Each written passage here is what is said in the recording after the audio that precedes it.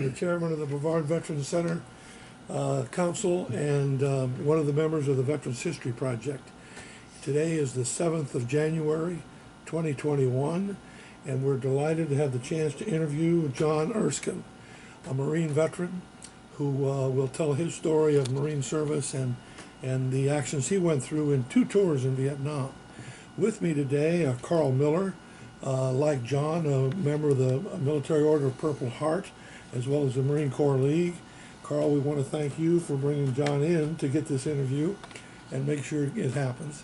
Um, we also uh, are at the Veterans Memorial Center Library, so those who look at, listen to this and see this video in the future will understand the circumstances here. So, John, before we get started on your Marine Corps life, can you tell us a little bit about where you grew up and what you thought about the military as you were growing up? And was it always your pet plan to join the military? Uh, as a young man, everybody, of course, in my neighborhood was uh, World, World War II veterans at the time when I grew up. So it was like kind of the natural thing to do. You, you know, being a patriot and American. What part of the country was that? I was from uh, Boston, Mass. Really, I was born in Newton, Massachusetts. Good. I, I was born in Boston and grew up in Needham, Okay, very right good. next to you. Yeah. Yeah, great. So anyway, a lot of patriots in Massachusetts, right? Oh, very patriotic. In fact, uh, a lot of Marines lot come of from Marines as well, Massachusetts. yeah.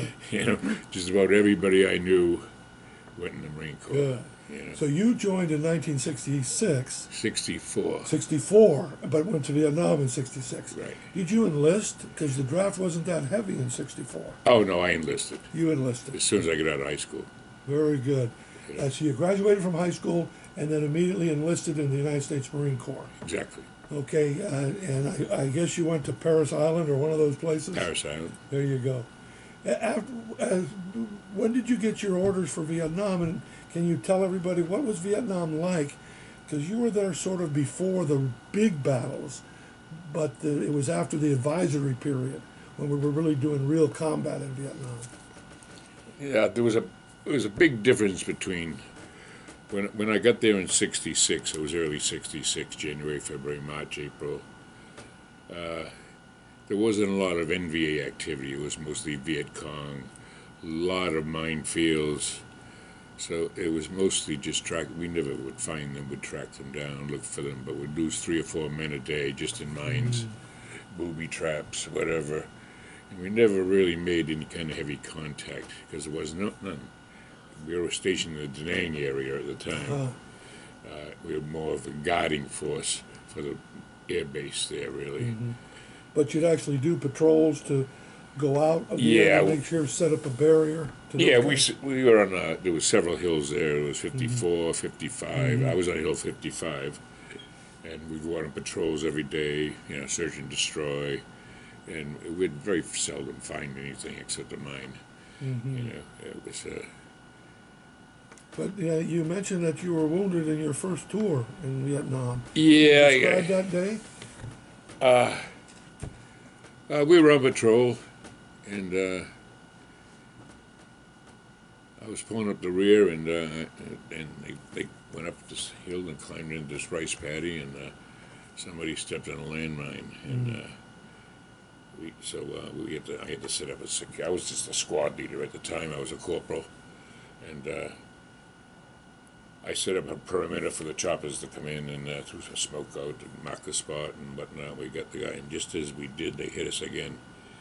And uh, I caught a grenade, uh, or a rocket. It might have been a rocket. Hit the end of my. It hit the end of my rifle, I think, and, Ah. and hit.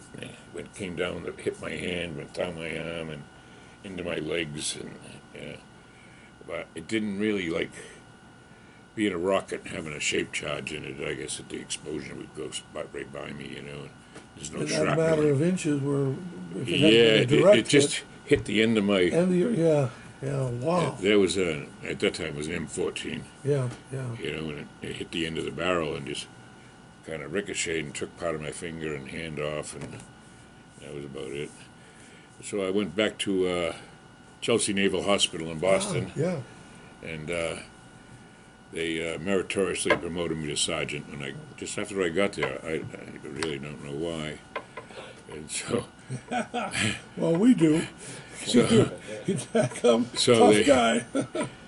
so uh, they they made me the Marine liaison at the hospital when it Uh-huh. became ambulatory, and I took care of people, all the Marines' paychecks and whatnot, and transferred them to wherever I had to go. And I went down to the Marine barracks and uh, talked to the colonel down there. And, so, and since I was from Boston area, I, I asked if there was any chance of being stationed there, you know. And I, I only had a year to go. I had to 68 to go, you know. So uh, I he said, uh, "Yeah, I might have some openings." He says, uh, "You know, if if you extend a year." Whoa, he put You the know? old extension caveat Yeah. in there. So being from Boston, I was a sergeant already. I'd, Now, at, this point, your your family lives in the area. yeah. So Have you? Are you married at this point? No, no. No, you're a single guy still. no, no.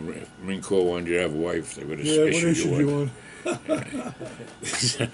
So uh, where was I now? Uh, Yeah, you're talking about the uh, down there. You're trying to get an assignment in the Boston area, but it was a there Oh, was yeah. a, a caveat. So- you had to extend. Yeah, so so I, I said, uh, gee, sounds like a good idea to be stationed right here. It'd be great. Maybe I could get the staff sergeant. Who knows? So I, I went ahead and extended here, and they made me sergeant of the guard of the starboard side. So that, that was a pretty. I had my own private room. It was just ceremonial duty, funerals, wedding, and uh, weddings, ship commissionings, things like that. You know, uh, a lot of uh, spit shine stuff Yeah. like that. So uh, things were going really good, and then late '67,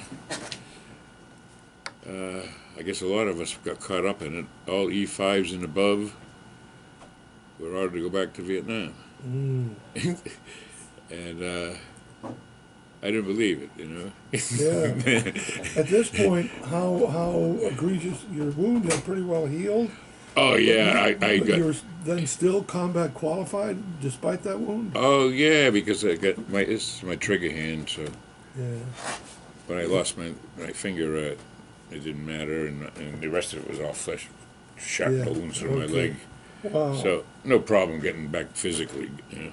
I have to ask you, did you ever regret extended? Oh no, actually, That's a Marine for you. uh, actually, uh, uh, my my intentions were to slow. I was going to stay in the Marine Corps for life. Ah, You know, I, but uh, I figured I had a good chance just staying right there in Boston for a while and thinking about it. What I- you know, what I wanted. I was thinking of either going to embassy school or recruiting duty. Uh, I'll, I'll have to tell you that uh, the uh, uh, Marine Security Guard program, I was in the Foreign Service, the State Department. I served in nine embassies and been in a hundred embassies all over the world. And Marine Security Guards are top flight. You'd have made a good one.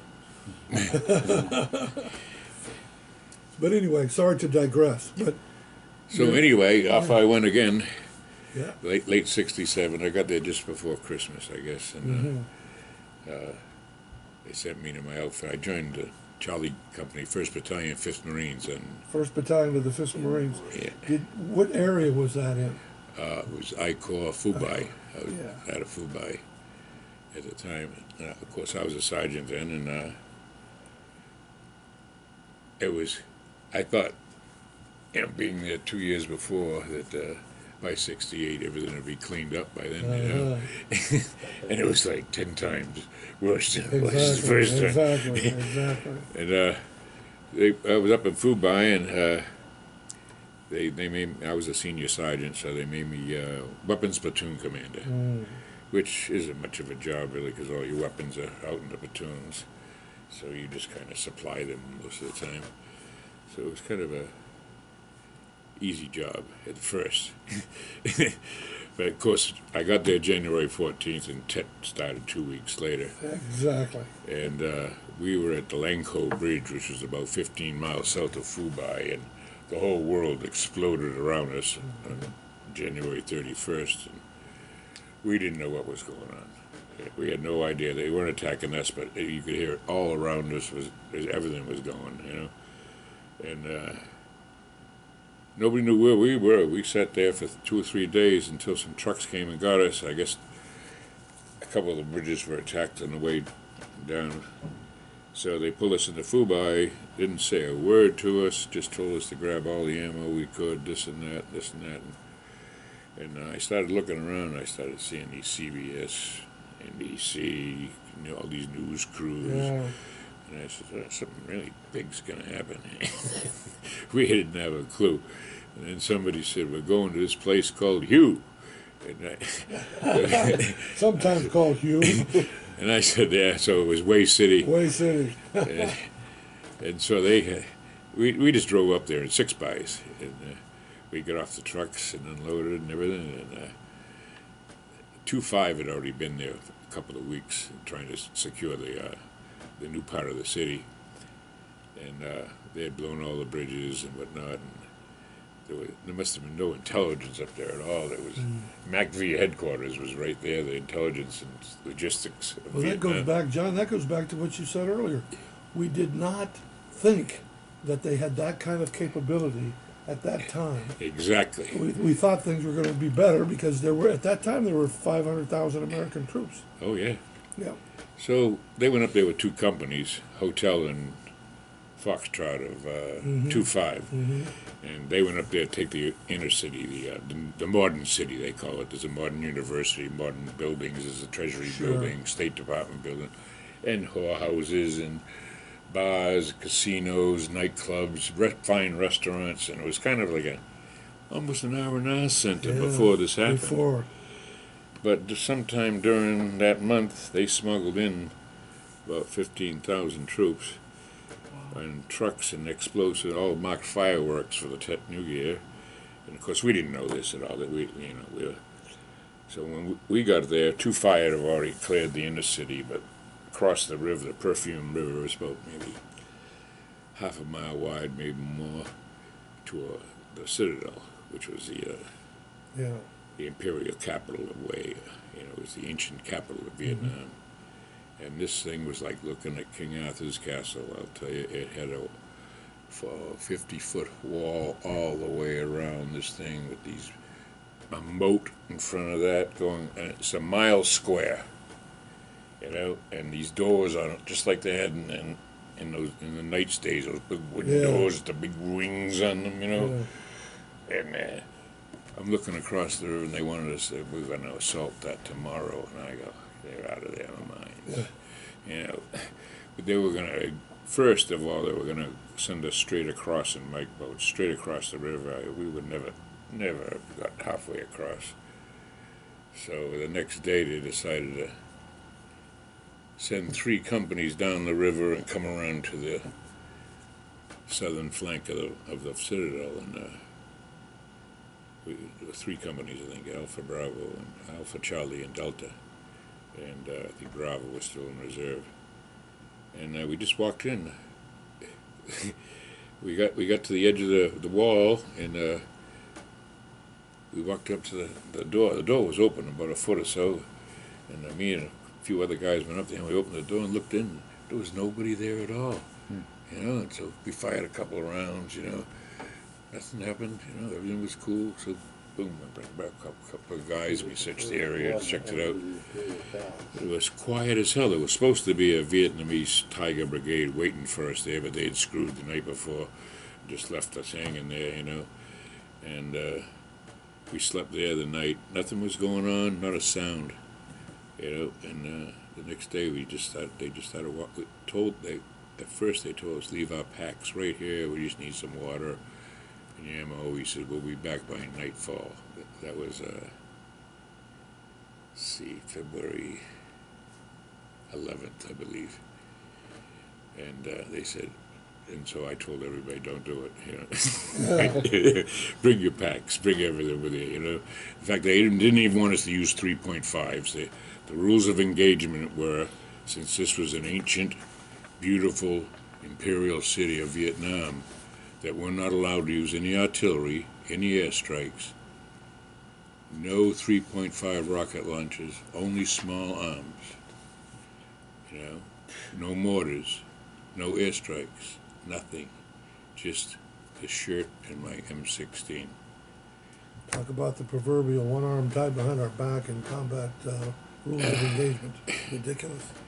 So there's 600 of us. Well, close to that. I'm not really sure of the numbers we had. We were kind of under strength before we ever got there, anyway. But we we just went. They Alpha Company went first. They walked right, and Delta Company took the left wall, went down that side, and we couldn't see them, there was a reflecting pool in between us, kinda like a Washington DC type reflecting mm-hmm. pool, it was real long, real wide, and they were on the other side of that, and we were on this side, and on the main thoroughfare that went right through the middle of the city, all the way to the other end.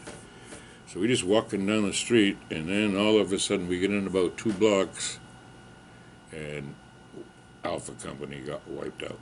I mean, they got ambushed right there. They got hit with a triple crossfire. All their command structure was wiped out. All the radios are down. Everybody's down, you know, and every, there was complete confusion. Nobody was in charge. so, so we started to spread out on both sides, you know, and uh, we see if we could hook up with Delta on the left. So we got on this one street, and we all started to spread out. And we had some kind of semblance of order. We, we were on one side of the street, and and uh, we did hook up with Delta Company, and they were having a rough time against this wall over there. There, there was really a lot of enemy over there. But we were, it wasn't so bad at first. The more you seemed to be to the left, the more that we went to our left flank, the, the worse the enemy got, you know. But we were more out toward the street. It, it was pretty good, so they decided to do these, uh, there was a, the old World War II, just run across the street real fast, Uh, and that's how we zigzag. that's how we did it. We would line up, and uh, somebody would throw a red popper out there in the street, and we'd take off running across that street and smash through the windows, doors, whatever we could on the other side, and uh, we'd probably lose maybe ten or twelve every time we crossed the street. You know, and, you know, we'd, we'd tell guys, please, don't go back and pick up the wounded. Let them go. Go, you know. But the, of course, they're all friends, they're buddies, they're brothers Yeah, they'd go back to help their buddy, and and they'd get killed too, you know. And uh, and and that's where it was every day, every single day until March the tenth, I believe. February eleventh until March the tenth of nineteen sixty-eight, the worst fighting in Vietnam of the entire war. Yeah, it was. Um, we lost. Uh, so I was weapons platoon commander at first. Then I took over third platoon as third platoon commander because Lieutenant uh, Arnott, A R N O T T, he he got wounded, and uh, so uh, Lieutenant Nelson, our CO, asked me to take over the third platoon. So sure I did, you know. And, I wasn't there five minutes, and I lost 17 men with a rocket attack. They hit us. I, said, I, don't, I don't know what happened. This guy got hit, and he started screaming, and they gave away our position, and then they just nailed us with uh, maybe 20, 30 B-40 rockets all the way down the street. I thought it was just us, but it was all the way down the street they were hitting us. And I lost so many men right there. I, didn't, I was really getting heavy, you know. And uh, Were these with those Katyusha rockets, the, the multiple firing that the? No, no, these are what they call the B-40 rocket. It was an Oh. anti-tank killer, but it was it was- it was more like a law Okay, about that size, but you had a lot of them. Yeah, they, Yeah. they used to have like bamboo tubes. Actually, I think they yeah. shot them out of, but Yeah. they were mostly for the tanks. But they, they didn't have a lot of shrapnel in them, and you had to be right in front of it to get, unless it hit you, you know. Uh, but they came through the roofs and they were Oh, coming, yeah. you know, and whatnot. And this kid got hit in the crotch, and he started screaming, which gave away our position. And there was an alley right across the street, an alley. They were shooting right down the alley at us, and of course, there's nothing I could, I couldn't do anything to shoot back or anything except clear out of that room. Just about then,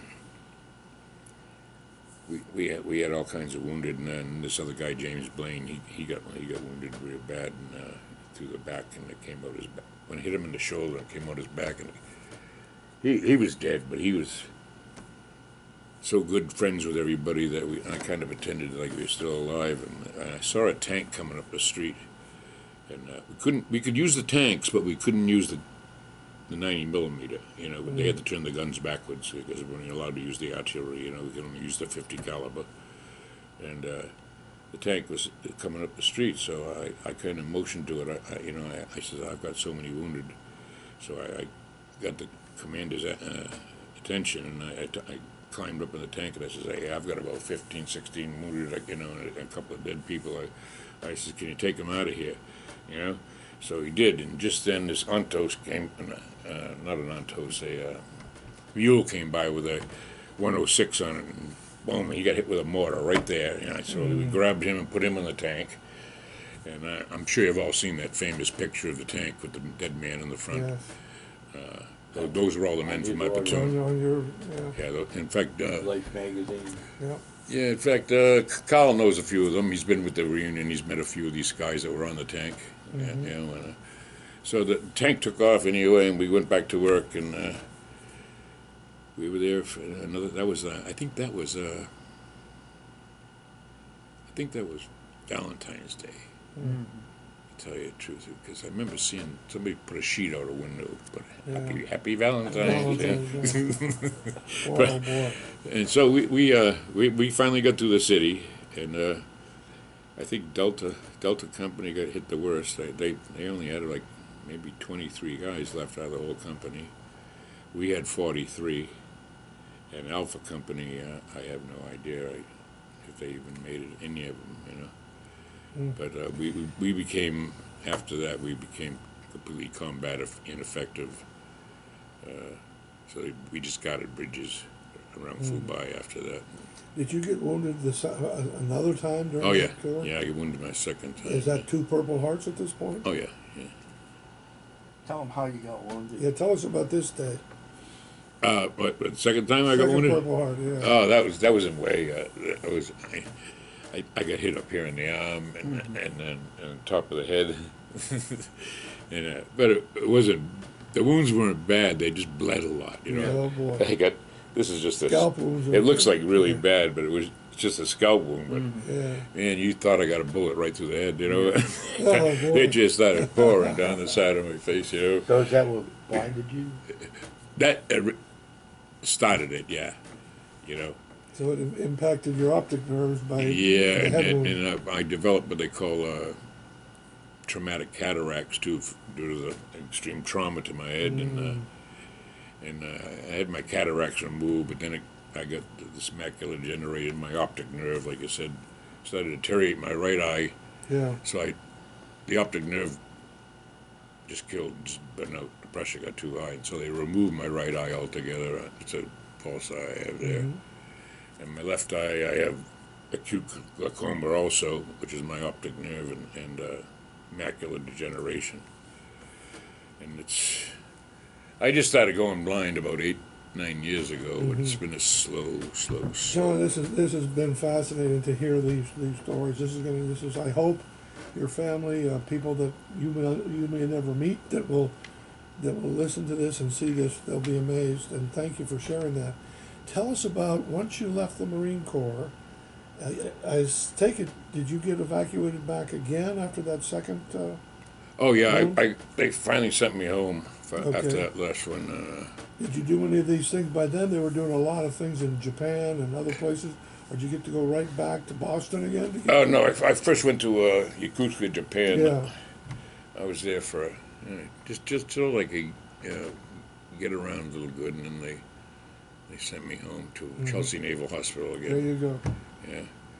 Well, tell us about after you got out of the Marine Corps, and uh, and we all came back at the same time in our country's history to, you know, a country totally disheveled and angered by Vietnam and spit on and all those things.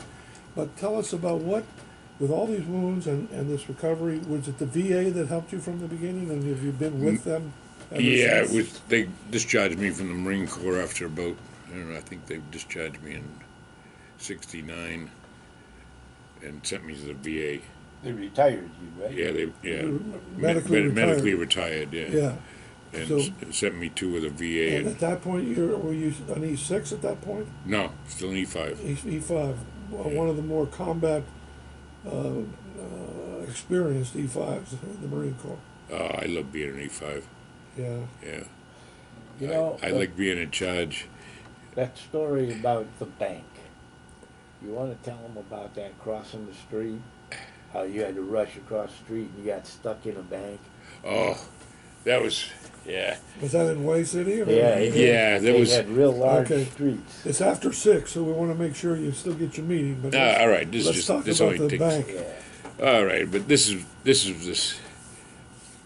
They called it. I don't know if you've ever heard of it, phase line green. that was written by one of our lieutenants. Yeah. Well, the phase line green was our jump off point, you know, for the bat the, the battle. We all got first lined up. It was it was just a street. I don't know Yeah. the name of it. And they had phase line green, phase line brown, phase line gray. I guess I I never saw any colors. so we were on this phase line green, and uh, Lieutenant Warr. He was he was uh, one of the lieutenants, and he was standing right here, and he had the red popper in his hand, and I, and I already made up my mind. I'm, I'm going I'm going to be the first one across, you know, figuring you know that uh, they won't shoot me. They'll be seeing me going across, but they'll get the guys behind me. so when his he as his hand his hand came back, and I took off, and he he he didn't do it. He didn't launch the No, he he he, he chickened out, I guess, for some reason, and I took off. Alone? and I didn't know what I so I I see this doorway right there ahead of me, you know, and I guess I'm gonna go right through that door, you know. Well, it was a bank. How, how far are we talking about? Oh, Did you the have to streets. Oh, I'd say a good good thirty yards. It was tree lined, sidewalks on both mm-hmm. sides. It was a good clip, but I only touched the ground maybe twice. but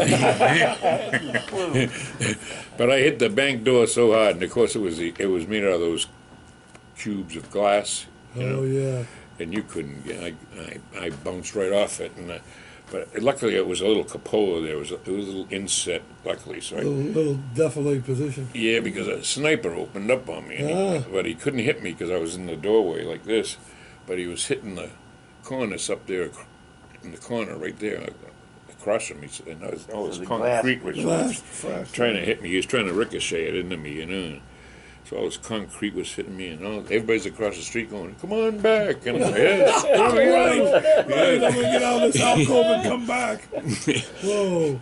So I I sat there, oh, geez, quite a, quite a while, you know, and then uh, it looked like I could make a break when it got, it got a little dark. And uh, I, hooked across, I hooked across the street, and we didn't do nothing until the next day, and then we started it all over again. Look at that. What a what a what an experience and and uh, That, it was the greatest experience of my Yeah, life. Uh, uh, I don't regret it. I certainly don't. Uh, uh, it, it fulfilled everything I ever wanted. I, I, you know, I, I always wanted to be a sergeant in the Marine Corps and and lead a platoon of troops in the combat, I- and, I that's just what I have did. to tell you something that I don't want to interrupt, but to say that to enlist in the Marine Corps at a time when there is a draft, you don't know what might happen with the draft, but to not even hesitate right out of high school and enlist in the Marine Corps, that's that patriotic New England red, white, and blue spirit. And uh, our country, luckily, has very much fewer now, but we still have some young people ready to go and ready to do that. Uh, what was the impact of having been in the Marine Corps? You were on medical retirement. Medical, uh, were you able to perform another career, do other things? What, I, I worked for the post office for Uh-huh, uh, as a clerk, uh-huh, and so that was all right. You know, I just couldn't do any physical work really. yeah, And I worked there for a while until uh, we moved to Florida. My wife retired, and I, you know, we moved you here. moved down to Florida. Yeah. Do you have a post office pension as well as, uh, Uh, I didn't work there the 20 years, so they Oh, just the- gave me oh. what they call what they call it, severance pay. Severance pay? Yeah. Okay. Uh, But it sounds like you have a great wife that. uh, oh, my up. my wife is fantastic. She uh, she's part of me, like you know. Yeah. But you didn't meet her till after you were wounded the second time. I didn't meet her until I was in the post office. Uh-huh, she came in the mail, uh, Uh, And that was package, until seven, 1977. uh-huh. I, I was uh, I had a, a lot of problems with PTSD after Mm. uh, I got out of the hospital and stuff, and uh, I, I didn't want to settle down. I, I couldn't, uh, I couldn't get my stuff together yet. Mm. You know, Yeah. I didn't go to work. I didn't start working at the post office till '77, so I, Mhm. I, I bummed around for oh, a good five years or so. You know, and. Uh, then I finally got my head together, and uh, you know, I, I got in, got a job in the post office, and I went to Rhode Island College under the under the uh, GI Bill. G- well, it was a Yeah. vocational rehab program. Okay, yeah. and they, they paid for all that too. That was good, you know. They Yeah. paid me for that. Well, that's fantastic. Well, we're certainly glad from our perspective you decided to come to Florida, all the best veterans come to Florida. And, uh, uh, we appreciate it very much being able to make sure that your story is forever now, uh, gonna be re- told. Uh, Paul will contact you when we have it done, make arrangements to get it, get it to you and your wife and pass it on. If you need an extra copy or two, we'll make that. We, all this is free. It's donated from a couple of military organizations to do all the, video stuff and the discs and the mailing and everything. But, um, again, to remind you, it'll be at the Library of Congress. Uh, they're about nine months behind due to COVID of putting it on the website. Uh, it'll be to you, and it'll be here at the Veterans Memorial Center. Um, we uh, also want to commend you for sticking with the Marine Corps League. I know a lot of these guys, and I would never want to stick with them. But uh, I guess it's a Marine thing. It is, it's a Marine. As an Army veteran, I, I can't relate. But we just have to get a couple of quick information. Paul will do that. Uh, the right to sign. Yeah. Oh wait. Let's go ahead and we'll we'll end the we'll end the interview here if it's okay, John. Sure. By simply saying thank you, thank you for your service. Thank you for coming tonight to do this and help us spread the word to rest everybody else that has Marine Corps League. Come and do this. It's not for ourselves. It's for the families of the future, the great grandchildren that will never know if you don't tell them. Right. All right. Thank you, Paul. I mean, John. Oh, thank Thank you. Thank you, Paul. Thank you all.